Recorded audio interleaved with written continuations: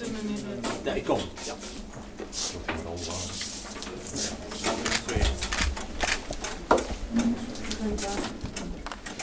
van deze? Ja. Gewoon erin zo? Ja. Nederlands, ja.